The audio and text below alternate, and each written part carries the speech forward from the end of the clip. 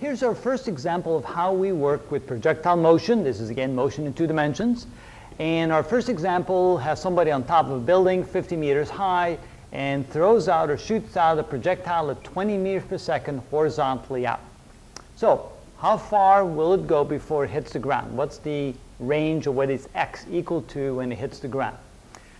The way you usually, usually I say, not always, but usually solve these types of problems is you want to figure out how long the object is in the air. So we start out by trying to find time in the air. And you do that by using this equation. Again, remember that the time in the air typically depends only on the vertical motion. So we use the equation y equals y sub naught plus v sub naught in the y direction times time plus 1 half gt squared. This equation should allow us to find time. So let's solve that equation for time. Our final height would be 0. Our initial height is 50 meters. Notice I will leave out the units to make the equation cleaner and easier to work with. Our initial velocity in the y direction is 0 because we do not throw it downward or upward. We simply throw it straight out, so it has no initial velocity in the, in the y direction. So this is plus 0. And then, of course, 1 half times g. Since g is a minus 9.8 meters per second squared, this is minus 4.9 times t squared. And we solve this equation for time. Notice if I move this term to the other side, it becomes positive. So 4.9 t squared equals 50. Divide both sides by 4.9.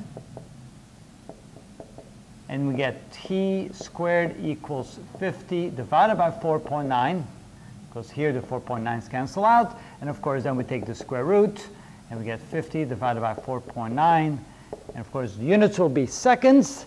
And of course, I need my calculator for that. So 50 divided by 4.9. And then we take the square root. And it looks like it is 3.194 seconds. Now, of course, I added a few extra numbers, significant figures that are not really significant, because I only had numbers to two significant figures. So this prevents me from getting a round-off error on an intermediate calculation.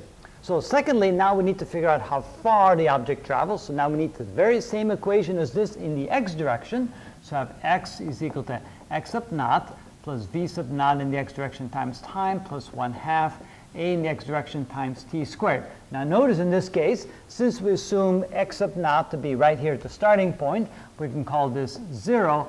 And since there's no acceleration in the x direction, because there's no forces acting in the x direction, that goes to 0 as well. And we simply get the equation that distance x equals velocity times time. So that's where this equation simply is derived from that original equation.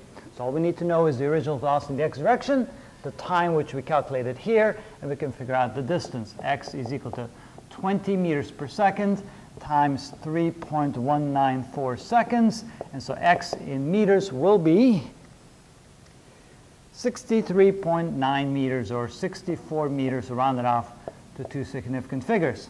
And so that's the answer for that. So again, notice the strategy. Find time in the air first. Use this equation to do so. Once you have the time, then use this equation to find distance in the x direction. And that's how you do a project, uh, I mean a, an object or a problem like this.